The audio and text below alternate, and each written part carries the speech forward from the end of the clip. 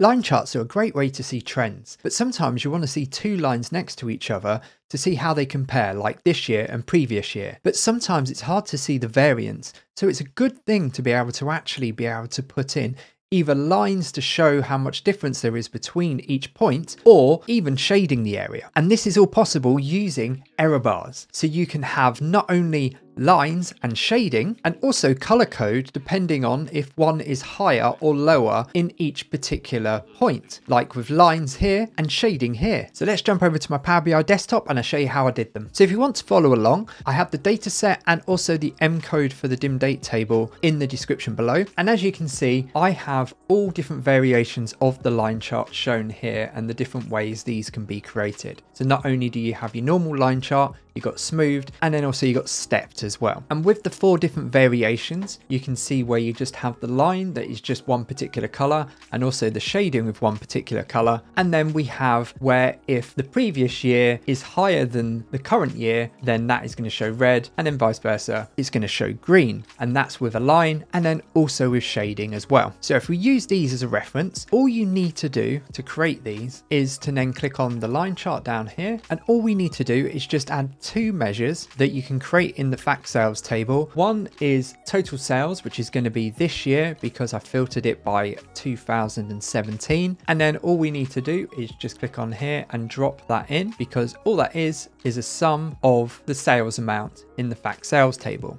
And then for the previous year, all I'm doing is taking that total sales amount, putting it within a calculate and doing same period last year and pointing it to the dim date table date column. So if I drop that in now as well, we now have our two points. Now, if I just change total sales to TY for this year and total sales last year to PY for previous year. Now we have those two in. What we need to do is just drag in our month short, which is down here and put that on the x-axis. And now we have it there. If you drop in your month short and it's showing up in alphabetical order, all you need to do is click on the month short, go to sort by column under column tools and then filter by month. This will then make it go December to January. And then all you need to do is just click on your graph, go to sort axis, select what you're sorting by and then do ascending. And then that will fix the issue with it being in alphabetical order. So now we have our graphs here. What we want to do is now move over to the little magnifying glass under the visualization pane here. And then down here, you'll see error bars. And then this is where you can now add in an error bar that will give you this look with the line. And this is done by enabling down here the options. And then we're keeping bar. We want to remove the tooltip because otherwise it will keep showing up with everything. So we just want to just remove that just to make it a lot more better when we're just hovering over so we only see the amounts for this year and last year. And then for the upper bound and lower bound this is basically going this is where this is the upper and this is the lower. And all you have to do is go back to your two measures so your total sales. If you drop in upper bound with total sales and then last year total sales into lower bound you suddenly have these two lines down here. If we go to the bar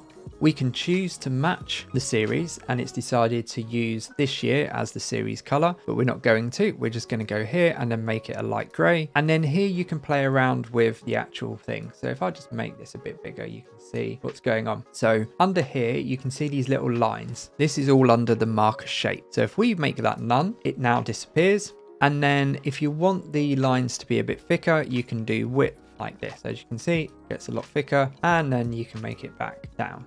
So there you go. So I'm just going to make it that thickness for now. And I'm just going to make it a bit fainter as well. So it looks like that. And then what we want to be able to do is just remove the legend. And then we want to remove the grid lines. And then we want to add in a series label. So we have this information like this. So that's how you get the bits at the end. So now we can see it all matches up and it's just a larger version of it. And then to simply change these lines into just shading like we've got here, all we do is just take a copy for now, drop that in. If we go back to our error bars and then instead of bar, we want to do error band. So if we click on that and then click off bars, you now have this shading area, which is being done by the series color again. So if we switch that off, then we can go light gray. And now we have a very, very light gray, but that's because because the transparency is quite high. So let's move this down to 50%. And now we've got our shading. And it's as simple as that just to be able to get that variance where if you want it shaded or with an actual line. But if you want to know when it's higher or lower,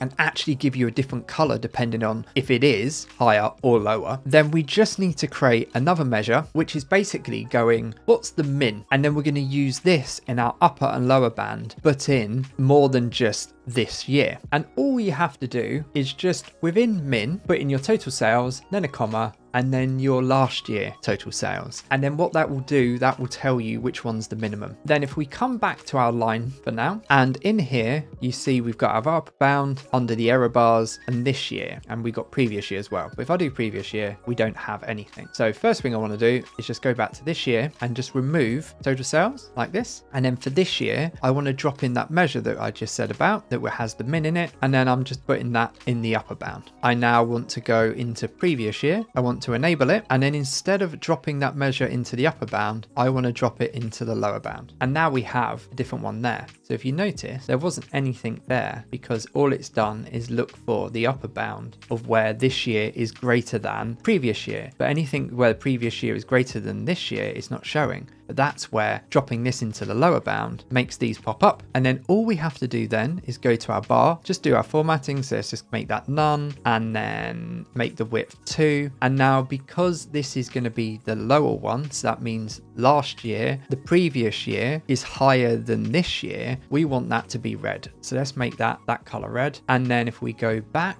to our this year under the series apply to, and if we come back down to our bar where the gray is, we now just want to change that to a green. And now we have our colors that do that. And it works exactly the same way with this here. So if we go back and for this year, let's just remove both of those. Then we drop in the upper bound, our measure with the min in it. So that one. And now you can see, again, it shaded it to the point of where everything is above the previous year. And then if we come down to our error band, you see the band color and we make that green. And then we go back up come to our previous year, enable, drop that into the lower bound again, remove the bar, add the error band, turn off the series color, make this 50%, and then make this red. And there you go. You now have your higher or lower than the previous year shading area on your line charts. So I hope you found this video useful and if you did please give a like and subscribe and if you want to carry on learning some Power BI tricks and tips check out these videos over here where I show you how. And as always until next time.